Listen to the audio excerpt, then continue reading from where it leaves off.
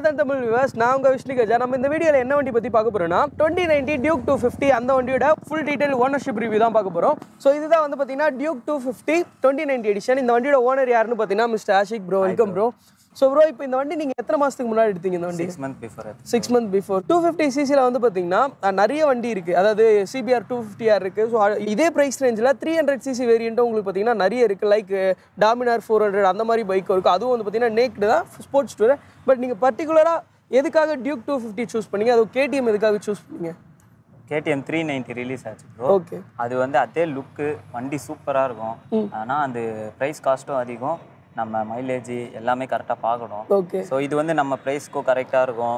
Correct ஆ இருக்கும். கம்ஃபர்ட்டும் கரெக்டாக இருக்கும். ஓகே எவ்வளோ ராங் லைட் வேணாலும் போகலாம் சிபிஆர் டூ ஃபிஃப்டி நீங்கள் சொன்னதை விட இது கம்ஃபர்ட் சூப்பராக கம்ஃபர்ட் நல்லா இருக்கும் அதுவும் இல்லாமல் எனக்கு நேக்கடு கொஞ்சம் பிடிக்கும் ஓகே ப்ரோ இப்போ வந்து பார்த்தீங்கன்னா நேக்டு வந்து உங்களுக்கு பிடிக்கும்னு சொன்னீங்க. ஸோ இந்த வண்டி நீங்கள் எடுக்கும் போது சிக்ஸ் மந்த் பிஃபோர் நீங்கள் இந்த வண்டி எடுக்கும் போது என்ன ப்ரைஸ் ரேஞ்ச் இருந்தது?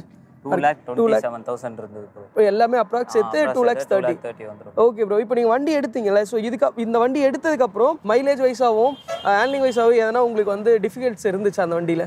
டிஃபிகல்ட்டு பெருசாக சொல்ல முடியாது ப்ரோ செயின் நாய்ஸ் கேட்கும் கரெக்டாக க்ளீன் பண்ணி கரெக்டாக லூப் லூப் பண்ணிக்கிட்டு மற்றபடி வேறு எதுவும் இல்லை ப்ரோ எல்லாமே கம்ஃபர்ட்டாக ஓகே ஸோ இது வந்து பார்த்தீங்கன்னா நேக்டு ஸோ இது வந்து ஃபுல் அண்ட் ஃபுல் வந்து பார்த்தீங்கன்னா ஒரு ஸ்போர்ட்ஸ் நேக்னு சொல்லலாம். ஸோ வண்டி வந்து லாங் ட்ரிப் எடுத்துட்டு போகிறேன் சரி நீங்கள் இந்த வண்டியில் இது வரைக்கும் எவ்வளோ லாங் போயிருக்கீங்க? கம்ஃபர்ட் நல்லா இருக்குன்னு சொல்கிறீங்க ஸோ எந்த அளவுக்கு இது உங்களுக்கு கம்ஃபர்ட்டாக இருக்குது உங்களுக்கு அந்த wrist pain back pain so அந்த அதை பற்றினா கொஞ்சம் சொன்னீங்கன்னா நல்லாயிருக்கும் ரைடருக்கு எந்த பெயினுமே வராது. டூ ஹண்ட்ரட் கிலோமீட்டர் ரைட் பண்ணியிருக்கேன் நான். எந்த பெயினுமே வந்ததில்லை. பில்லியனுக்கு மட்டும் ஒரு லிமிட் ஸ்ட்ரைட் ஸ்ட்ரெச்சு போகும்போது அந்த பெயின் ஒரு பேக் பெயின் மட்டும் கண்டிப்பாக pillion வரும். ஸோ. பட் ஆனால் ரைடருக்கு வந்து பார்த்தீங்கன்னா எந்த வராது. ஸோ. ஓகே ஒரு செவன்ட்டி பர்சன்ட் ஆஃப் வந்து பார்த்தீங்கன்னா டியூக் த்ரீ நைன்டினே சொல்ல. ஏன்னா பேக்லேயும் சரி இன்ஜின் லுக் வைஸும் சரி எல்லாமே சிமிலர் தான்.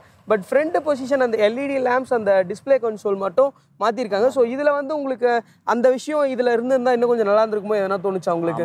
ஹெட்லைட் மட்டும் ப்ரோ ஓகே ஏன்னா த்ரீ நைன்ட்டி அந்த டிஎஃப்டி டிஸ்ப்ளே கொடுத்தாங்கன்னா நிறைய சென்சார்ஸ் வரும். ஆமாம் ரொம்ப ஏதாச்சும் ஃபால்ட் வரதுக்கு சான்ஸ் இருக்கு. சரி ஹெட்லைட் மட்டும் நல்லா கொடுத்துருந்தாங்கன்னா கொஞ்சம் இன்னும் கொஞ்சம் நல்லா இருந்திருக்கும் ஸோ இது வந்து பார்த்தீங்கன்னா எல்இடி டிஆர்எல் கொடுத்துருக்காங்க. பட் வந்து எல்இடி லைட்ஸ் கொடுக்கல ஹாலோஜன் தான் கொடுத்துருக்காங்க. ஸோ இதோட ரெஸ்பான்ஸ் எந்த அளவுக்கு இருக்குது ஐபீமே ரொம்ப தேவைப்படாது ப்ரோ லோ பீமே உங்களுக்கு நல்லா ஃபோக்கஸாகவும் இருக்கும். ஓகே ஸ்ப்ரெட்டும் கரெக்டான வியூ வரும் நைட் டைமில் ஒரு நல்ல ஒரு பவர்ஃபுல்லான ஒரு two fifty CC thirty HP horse power கொடுத்துருக்காங்க.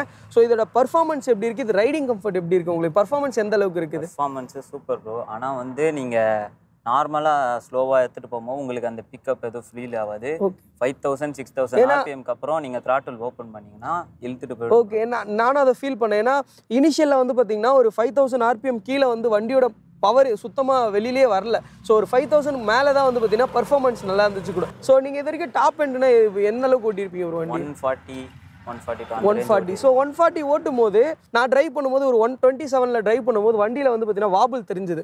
ஸோ உங்களுக்கு அந்த மாதிரி எதனா டிஃபிகல்ட்ஸ் இருந்துச்சா? தெரிஞ்சதில்ல. விண்டு பிளாஸ்ட் மட்டும் ஓவராக அடிக்கும் ரைடருக்கு ஸோ ஓட்டுற பொசிஷனில் தான் இருக்கு. ஸோ இதுக்கு வந்து நீங்கள் பார்த்தீங்கன்னா ஆஃப்டர் மார்க்கெட்டில் எதனா ப்ரிஃபர் பண்ணுவீங்களா? விண்ட்ஷீல்டு அந்த மாதிரி? ஆ பார்த்துருக்கேன் ப்ரோ ஆட்டோலாக் டிசைனில் Okay. அது பார்த்துருக்கேன் அது வேணா ப்ரிஃபர் ஓகே அது போட்டால் உங்களுக்கு அந்த அளவுக்கு வின் பிளாஸ்ட் இருக்காது.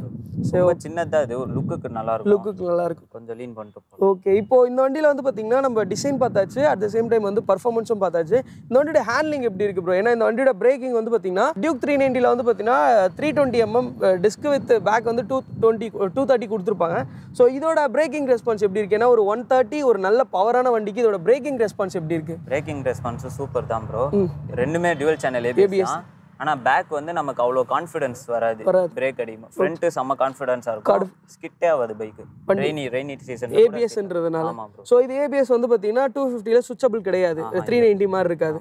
ஸோ ஓகே இப்போ ஹேண்ட்லிங் வைஸும் வண்டி உங்களுக்கு பிடிச்சிருக்கு. கேடிஎம்னா எல்லாருமே எடுக்க தயங்குற ஒரு விஷயம் பார்த்தீங்கன்னா அந்த வண்டியோட மைலேஜ் ஸோ அது உங்களுக்கு இந்த வண்டியில் எவ்வளோ எதிர்பார்க்க முடியுது? உங்களை சிட்டி அண்ட் இந்த வண்டி பவருக்கு இந்த மைலேஜ் கரெக்ட்னு சொல்லலாம் ப்ரோ ஏன்னா தேர்ட்டி ஹார்ஸ் பவர் தராங்க பிக்கப் டூ ஃபிஃப்டி சிசியில் சிட்டிக்குள்ளனா டுவெண்ட்டி எயிட் தேர்ட்டி அந்த ரேஞ்சு கிடைக்கும். ஹைவேலனா தேர்ட்டி த்ரீ தேர்ட்டி ஃபோர் இந்த வண்டி பவருக்கு இந்த மைலேஜ் ஓகே தான். ஓகே இந்த வண்டியோட சீட் ஹைட் வந்து பார்த்தீங்கன்னா எயிட் தேர்ட்டி எம்எம் கொடுத்துருக்காங்க. சீட் ஹைட் வந்து பார்த்தீங்கன்னா ஜாஸ்தி. ஸோ ஒரு எயிட் தேர்ட்டி எம்எம் வந்து பார்த்தீங்கன்னா எனக்கும் வந்து நானும் ஷார்ட் தான். ஸோ அதனால வந்து சீட் ஹைட்டில் உங்களுக்கு எதனா ப்ராப்ளம் வருதா இதில்? அதுக்கேற்ற மாதிரியே அவங்க சஸ்பென்ஷன் கொடுத்துட்டாங்க ப்ரோ ஓகே நம்ம உட்கார்ந்த உடனே கரெக்டாக அமிங்கிடுது டபிள்யூபி சஸ்பென்ஷன் கொடுத்துருக்காங்க. சஸ்பென்ஷன் ரொம்ப சாஃப்ட்டு பட் நம்ம ரோட் கண்டிஷன் கரெக்டாக தான் கரெக்டாக இருக்குது த்ரீ நைன்ட்டியாக இருக்கட்டும் டூ ஃபிஃப்டியாக இருக்கட்டும் இதில் வந்து பார்த்தீங்கன்னா நிறைய அந்த எலக்ட்ரானிக் இஷ்யூஸ்லாம் வந்துச்சு. ஸோ த்ரீ நைன்ட்டியில் இருந்த சேம் அந்த LED problem tail section problem அப்புறம் அந்த கன்சோல் எல்லாம் ப்ராப்ளம் சொல்லியிருந்தாங்க. ஸோ அந்த மாதிரி நீங்கள் எதனா ஃபேஸ் பண்ணீங்களா? டூ ஃபிஃப்டியில் இது வரைக்கும் ஃபேஸ் பண்ணல. அதில் ரொம்ப சென்சார்ஸ் இருக்கு ப்ரோ த்ரீ நைன்ட்டியில் ஆமாம் bro ride by wire throttle கொடுத்துருக்காங்க. டிஎஃப்டி டிஸ்பிளே அதுலேயே நிறைய சென்சார்ஸ் வந்துடுது. அதனால ரொம்ப வாட்டர் வாஷ் பண்றாங்க இல்ல ஓவரா அந்த மாதிரினா தண்ணி ஏதாச்சும் உள்ள போய் ஷார்ட் ஆகிறதுக்கான சான்ஸ் இப்போ அந்த வண்டியில் வந்து பார்த்தீங்கன்னா உங்களுக்கு ரொம்ப பிடிச்ச விஷயம் எதாவது ப்ரோ சொல்லுவீங்க? இதோட லுக்கு ப்ரோ அந்த டியூக் தௌசண்ட் டூ நைன்ட்டி அதை லைட்டாக சர்வீஸ் பண்ணி விட்ட மாதிரியே லுக் ஓகே அதுக்கப்புறம் பவரு அதுக்கேற்ற மாதிரி ரைடர் கம்ஃபர்ட் கம்ஃபர்ட் எல்லாமே சூப்பர் ப்ரோ மைலேஜும் கரெக்டாக தரும். கரெக்ட் இந்த இந்த பவருக்கு இது மைலேஜ் கரெக்டாக ஸோ இந்த வண்டியில் வந்து பார்த்தீங்கன்னா கியர் ஷிஃப்டிங் வைஸ் வந்து பார்த்தீங்கன்னா இதில் அசஸ் ஸ்லிப்பர் கிளச் கொடுத்துருக்காங்க. ஸோ இது உங்களுக்கு எந்த அளவுக்கு யூஸ்ஃபுல்லாக இருக்கு? ஏன்னா த்ரீ நைன்ட்டி அதுக்கப்புறம் டூ ஃபிஃப்டி செக்மெண்ட்டில் தான் வந்து பார்த்தீங்கன்னா உங்களுக்கு ஸ்லிப்பர் கிளச் கொடுக்குறாங்க.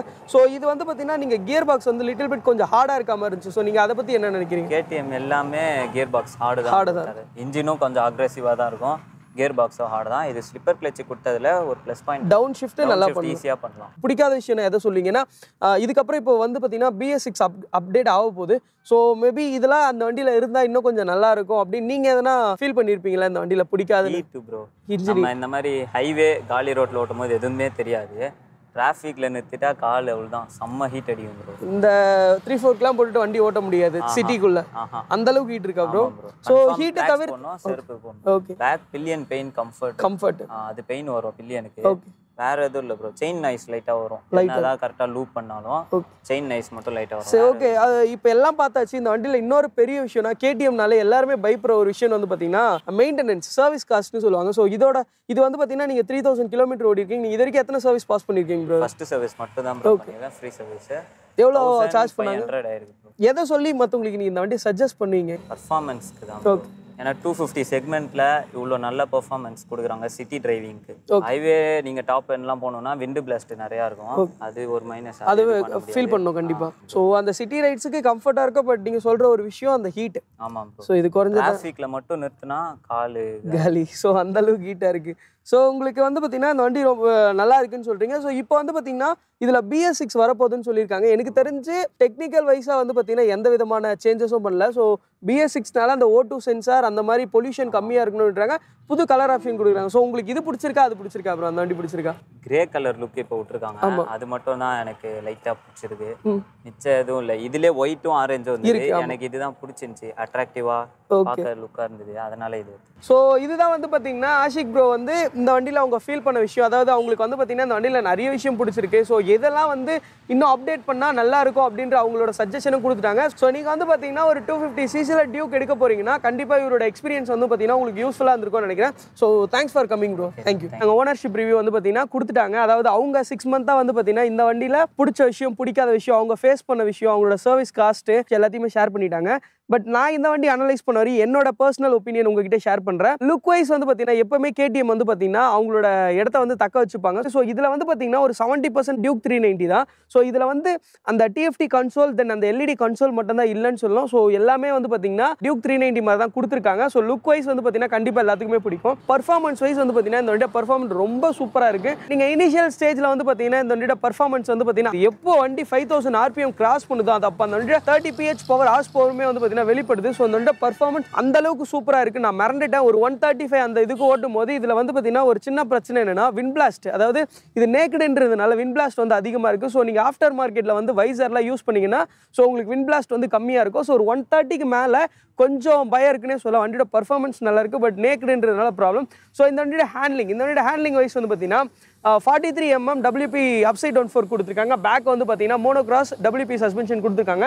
ஹேண்ட்லிங் வந்து பார்த்தீங்கன்னா ரொம்பவே நல்லா இருக்கு. ஃப்ரண்ட் வந்து பார்த்தீங்கன்னா த்ரீ ஹண்ட்ரட் எம்எம் டிஸ்க் கொடுத்துருக்காங்க. Back two thirty MM disc கொடுத்துருக்காங்க. Dual channel ABS so braking வைஸும் சரி ஹேண்ட்லிங் வைஸும் வந்து பார்த்தீங்கன்னா வண்டி ரொம்பவே சூப்பராக இருக்கு. இந்த வண்டியோட ஒரு சின்ன மைனஸ்னு சொல்ல இந்த வண்டியோட பிரைசிங் இந்த வண்டியோட பிரைசிங் வந்து பார்த்தீங்கன்னா டூ பாயிண்ட் த்ரீ லேக்ஸ் வரைக்கும் கொண்டு வந்திருக்காங்க. ஸோ இந்த ரேஞ்சில் பிரைஸ் வைஸ் காம்படிஷன் பார்த்தீங்கன்னா Dominar four hundred twenty ninety edition இருக்கு. அது வந்து பார்த்தீங்கன்னா டூ தேர்ட்டி கிட்ட தான் வருது. வண்டியோட பர்ஃப ஹார்ஸ் பவர் வந்து பார்த்தீங்கன்னா ஃபார்ட்டி பிஹெச் பவர் வித் பர்ஃபெக்டான டூரிங் பைக்கு வந்து பார்த்தீங்கன்னா பஜாஜ் கொடுக்குறாங்க. ஸோ அதுதான் வந்து பார்த்தீங்கன்னா கேடிஎம் டியூக் டூ ஃபிஃப்டியோட ஒரு சின்ன மைனஸ் சொன்ன போகலாம் இந்த வண்டியோட ப்ரைசிங் மட்டும்தான். ஸோ மற்றபடி இந்த வண்டியில் மைனஸ்னு சொல்கிறதுக்கு பெருசாக ஒன்றுமே கிடையாது. அவர் சொன்ன மாதிரி பில்லியன் சீட் கம்ஃபர்ட் தான் வந்து பார்த்தீங்கன்னா அந்த அளவுக்கு ரைடிங் கம்ஃபர்ட் ரொம்ப நல்லா இருக்குது ஸோ வண்டியோட பர்ஃபார்மன்ஸ் நல்லா இருக்குது ஹேண்ட்லிங் நல்லா இருக்குது எல்லாமே நல்லா இருக்குது ஸோ ஃபைனலாக என்னோட ஒப்பீனியன் சொல்லிட்டு ஆஷிக் ப்ரோ ஓனர்ஷிப் ரிவ்யூவும் சொல்லிட்டாங்க. இதுதான் வந்து பார்த்தீங்கன்னா இந்த வண்டியில் நான் சொல்ல வந்தது. ஸோ உங்களுக்கு இந்த வீடியோ பிடிச்சிருந்தனா லைக் பண்ணுங்கள் கமெண்ட் பண்ணுங்க. மறக்காம ஆதன் தமிழ் சேனலை சப்ஸ்கிரைப் பண்ணுங்க. தேங்க்யூ